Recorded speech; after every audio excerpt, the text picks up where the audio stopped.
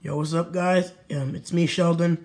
I just left the arena um, for Mario vs. Sonic. Um, as much as I hate both of them, and I know that I want to fight Mario, but I didn't want him to die. Like, hope he's okay.